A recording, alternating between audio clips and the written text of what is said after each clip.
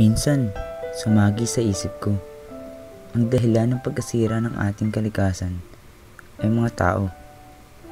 Mga taong walang disiplina.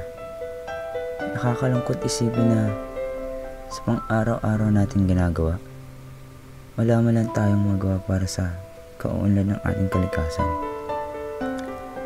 Paano kung bigyan ako ng pagkakataon na makatulong?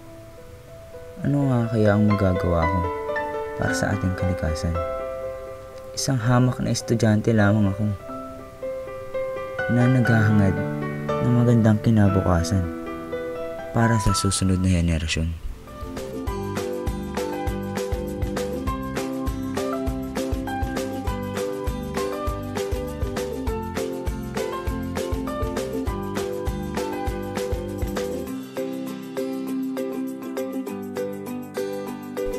May magagawa ako kahit sa simpleng pagpulot lang ng kalat sa aking paligid.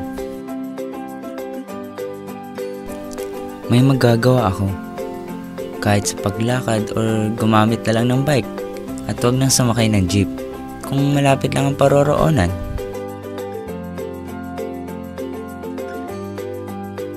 May magagawa ako kahit sa simpleng pagsara ng maayos ng gripo para makatipid sa tubig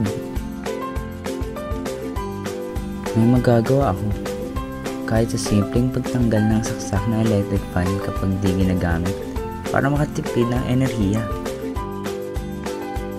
May magagawa ako kahit sa simpleng pagtanim ng maliliit na halaman sa aking tahanan. Oo, estudyante lang ako. Bata lang ako sa paningin nila. Pero may magagawa ako dahil tayong kabataan ay ang pag-asa ng bayan.